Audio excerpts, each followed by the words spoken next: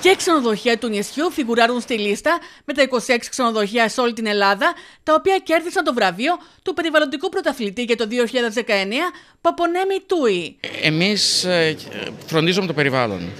Ήταν λοιπόν ε, και φέτος μια χρονιά η οποία άξιζε τον κόπο να φροντίσουμε αρκετά το περιβάλλον, το κάναμε και επιβραβευθήκαμε γι' αυτό. Είναι πάρα πολύ ευτυχές το γεγονός που βλέπουμε ότι οι ξένοι διοργανωτές, οι tour operators, οι μεγάλοι τουριστικοί οργανισμοί δίνουν πάρα πολύ μεγάλη σημασία στο περιβάλλον και στην διατήρηση αυτού, οπότε ουσιαστικά επιβραβεύουν τις επιχειρήσεις σε όλο τον κόσμο, αλλά και στην Ελλάδα, οι οποίες ε, σέβονται την ε, περιβαλλοντολογική συνείδηση.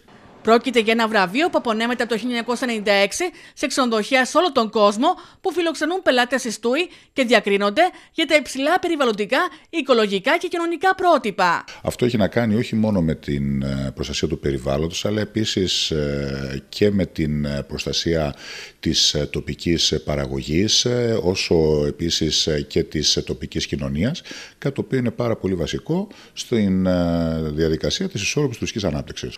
Τα ξενοδοχεία που αναδεικνύονται περιβαλλοντικοί πρωταθλητές χρησιμοποιούν τοπικά βιολογικά προϊόντα, υποστηρίζουν φιλανθρωπικές δράσεις στην περιοχή τους και χαρακτηρίζονται από τη χρήση συστημάτων εξοικονόμησης νερού και ηλεκτρικής ενέργειας, καθώς και προϊόντων φιλικών προς το περιβάλλον.